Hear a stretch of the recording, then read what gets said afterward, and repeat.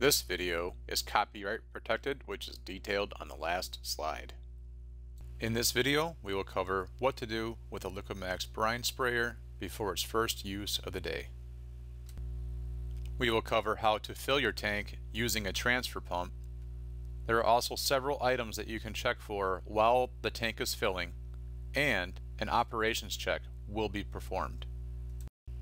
Begin by connecting the hose from a storage tank to the transfer pump, then a hose from the transfer pump to the onboard tank.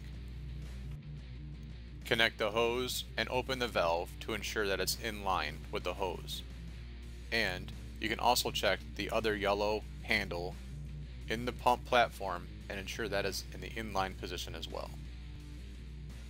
Open the shutoff valve on the storage tank Start the transfer pump engine. While the tank is filling, it's a good idea to select the nozzles that you would like to use for your first job. You should also check the oil and gas in the engine and ensure that the tank and platform are secured to the truck. Shut down the transfer pump engine when the onboard tank is full. Close the storage tank shutoff valve then shut off the brine sprayer valve and remove the hose. Next, start the engine and bring up to running speed.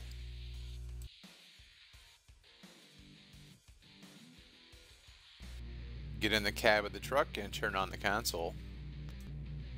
Move the selector switch to run and ensure that it's in manual mode. Rotate the selector knob to the rate position and move all three switches on top to on. Go back to the rear of the truck and ensure all three zones are spraying. It's also a good idea to check that the center boom nozzles are not clogged at this time. Go back to the console and turn the switches off or move the selector to hold. Bring the engine down to idle speed and turn it off. Ops check complete. Your Liqui Maxx brine sprayer is now ready for its first job of the day. Thank you for watching and have an ice day. The following are registered or unregistered trademarks of Douglas Dynamics LLC, SnowEx and Liqui Maxx.